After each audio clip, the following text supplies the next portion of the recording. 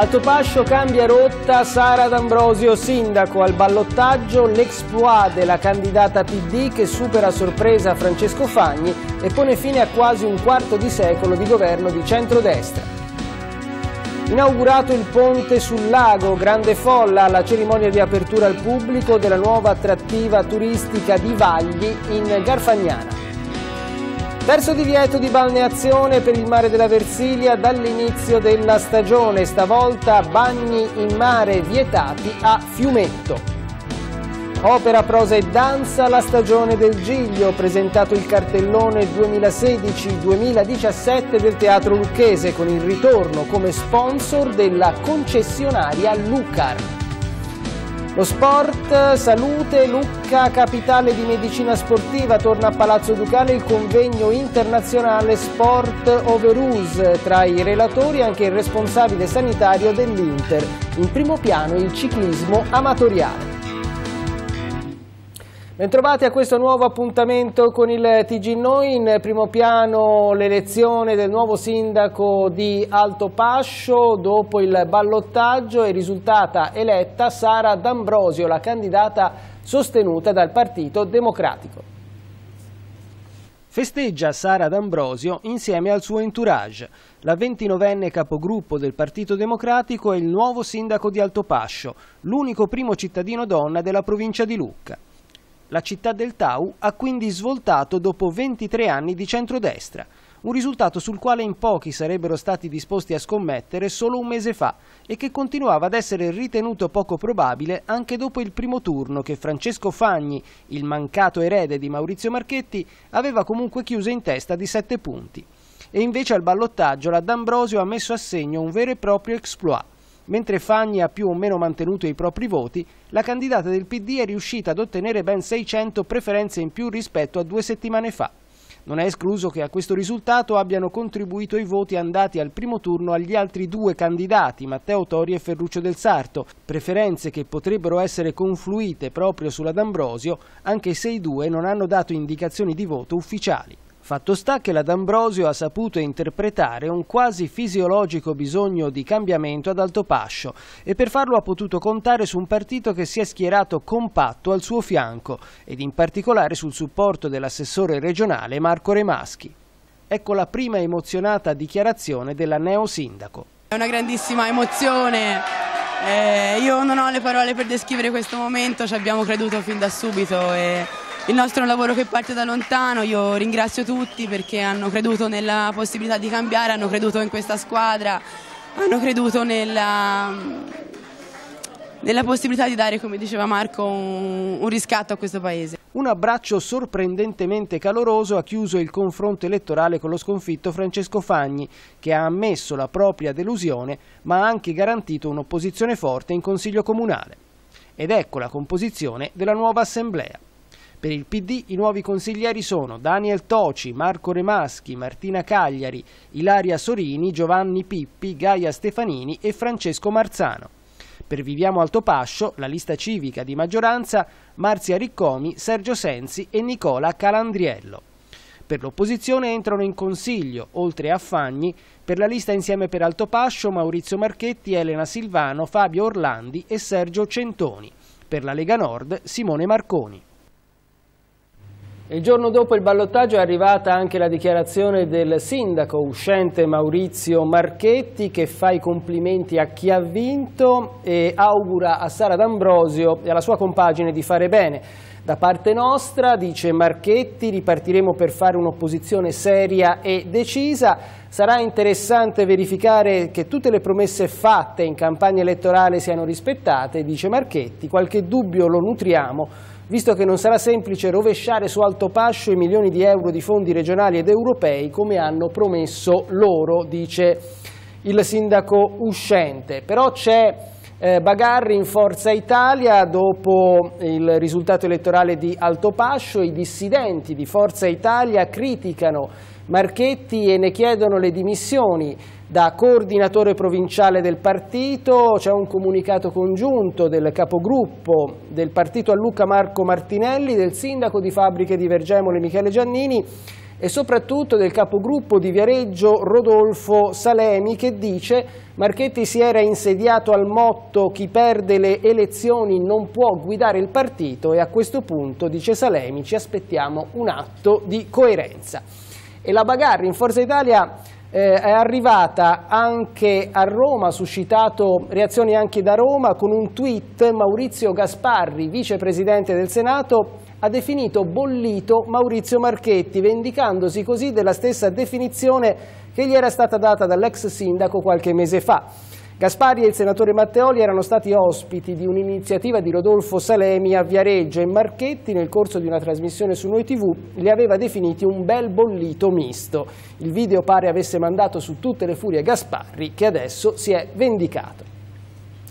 Chiudiamo la pagina eh, dedicata alle elezioni ad Altopascio e eh, parliamo di cronaca. Eh, sono in corso nel Compitese le ricerche di un 36enne di origine ucraina, eh, Sherry Kmilevski, che è scomparso senza lasciare traccia eh, dall'abitazione in cui eh, eh, risiede con la sorella in via Sant'Andrea nel Compitese. Eh, questo ehm, giovane, vedete nella fotografia che è stata diffusa dal comune di Capandoli e dalla prefettura, è alto 1,75 m e pesa circa 80 kg. È vestito con scarpe da tennis celesti, pantaloni chiari e una polo blu scura. Eh, è arrivato a Capannori ospite della sorella per sottoporsi a cure mediche dato che soffre di vuoti di memoria, di amnesia e quindi potrebbe essersi smarrito. Le ricerche condotte dai Vigili del Fuoco e dalla Polizia Municipale di Capannori sono in corso in tutto il Compitese.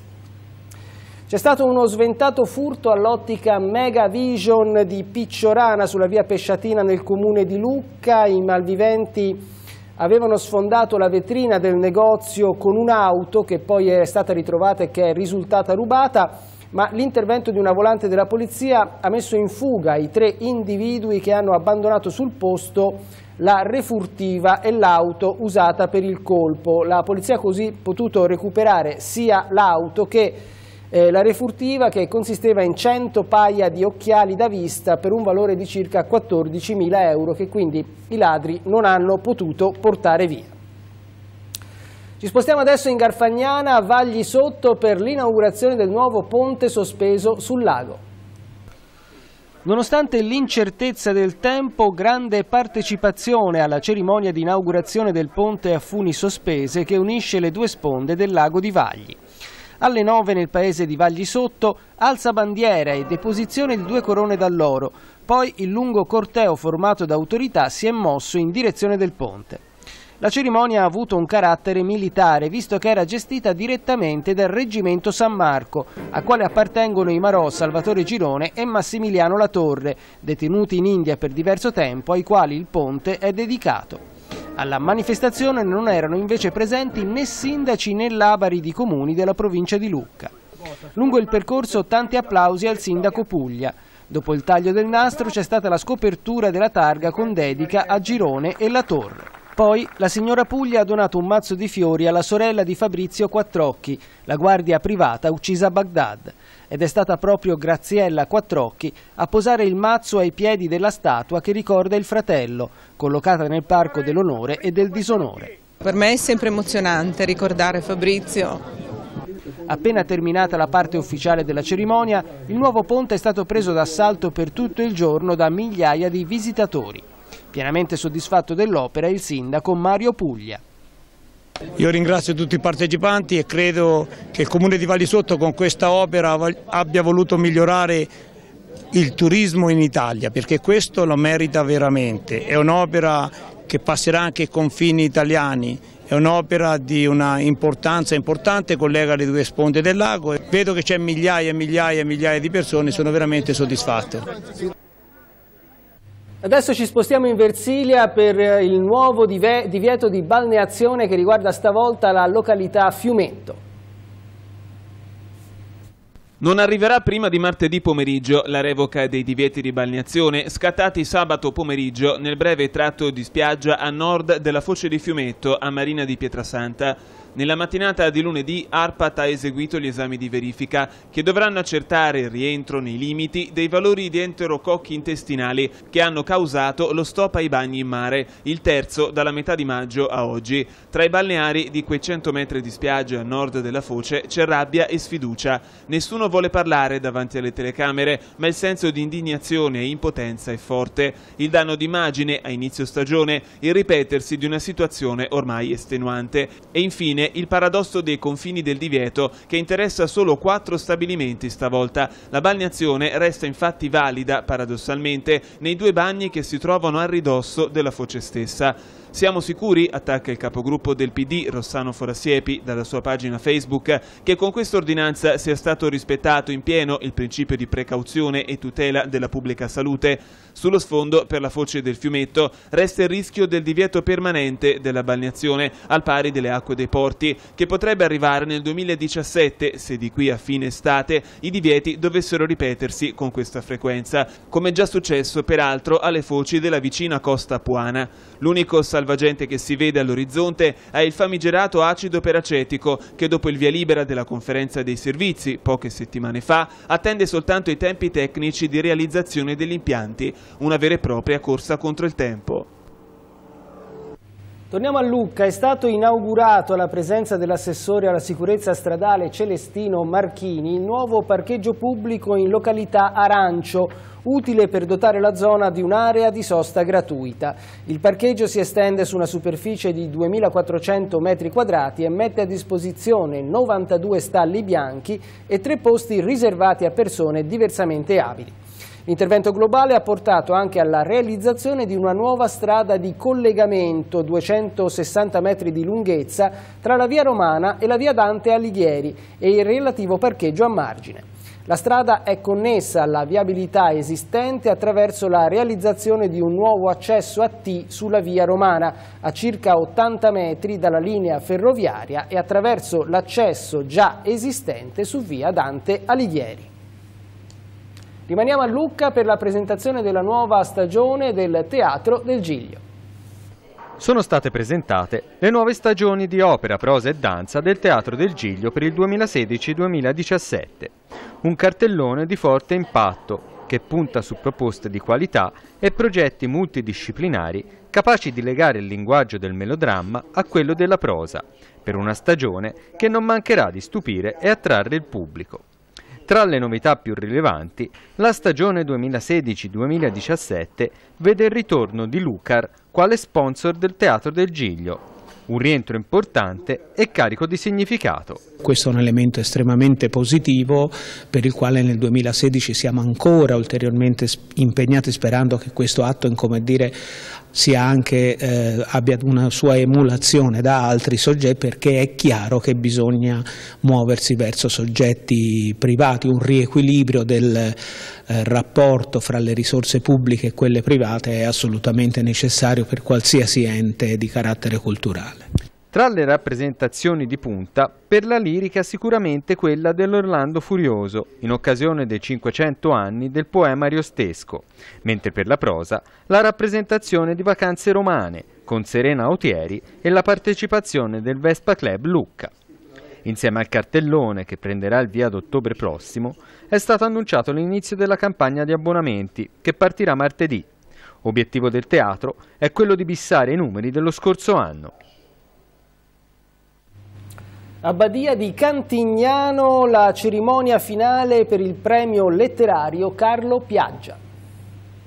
È stata la splendida Badia romanica di San Salvatore di Badia di Cantignano ad ospitare la cerimonia di premiazione dei vincitori della prima edizione del Premio Letterario Nazionale Carlo Piaggia, intitolato alla figura del noto esploratore, viaggiatore e antropologo lucchese nato qui negli anni venti dell'Ottocento. Il concorso, articolato in tre sezioni, ha visto la partecipazione di oltre 120 autori provenienti da tutta Italia. A valutarli la giuria presieduta dal professor Luciano Luciani. Una buona cosa, una bella cosa con tanti partecipanti provenienti da tante parti d'Italia, lavori di buona qualità, in alcuni casi anche di eccellente qualità. Ehm, diciamo che eh, si sono intrecciati una serie di eh, elementi positivi, di dati positivi. Eh, la volontà di valorizzare la bellezza di questi luoghi e di farlo attraverso la letteratura, le iniziative musicali e anche alcune idee forti che sono quelle della solidarietà, della condivisione e dell'accoglienza che sono un po' al centro dello spirito di questa nostra iniziativa che è letteraria e poetica ma non soltanto. Per la sezione Poesia inedita il primo premio è andato a Umberto Vicaretti di Roma con Fiori di Bodrum. Per la sezione narrativa inedita il primo premio assoluto è stato consegnato a Emiliano Angelucci, 19 anni, di Rieti, con il racconto Il viaggio di Tito. Per quanto riguarda la sezione narrativa edita, il primo premio è andato a Matteo Predaroli di Genova con Barche di carta, Arduino Sacco editore. A Lucca bilancio finale positivo per Giochiamo, la due giorni dedicata ai giochi da tavolo che si è svolta al Polo Fiere di Sorbano. Oltre 300 giocatori provenienti da gran parte del centro e del nord Italia, ma anche da Spagna, Inghilterra, Germania, Repubblica Ceca e Polonia. Nove tornei per un totale di più di 500 partite. Numeri quindi davvero positivi che riescono a descrivere solo in parte un evento che si è svolto in un clima di allegria e passione per il gioco da tavolo. Come era già avvenuto lo scorso novembre per il campionato mondiale di Blood Bowl, il Polo Fiere di Lucca si è dimostrato perfetto per accogliere questo tipo di manifestazioni con le ovvie ricadute positive per il territorio. Torniamo in Versilia per lo spirito del lago in mostra al Teatro Puccini. Le opere di 16 giovani artisti provenienti da tutto il mondo che hanno interpretato il paesaggio del Massaciuccoli sono esposte nel foyer del Teatro Puccini nell'ambito della mostra Lo spirito del lago. Sotto la guida dello scultore Andrea Bimbi, titolare della cattedra di pittura dell'Accademia di Belle Arti di Firenze, questi giovani artisti sono tornati a rivisitare pittoricamente i luoghi pucciniani e ad esercitare quella coscienza dello sguardo senza la quale ogni immagine di questo territorio di così straordinaria rilevanza ambientale, storica ed estetica svanirebbe. Sì, sì, è purtroppo stato dimenticato e in realtà è un paesaggio estremamente affascinante che andrebbe eh, decisamente riqualificato e anche dire, rivissuto in quella dimensione eh, dell'anima che appartiene proprio a questi luoghi.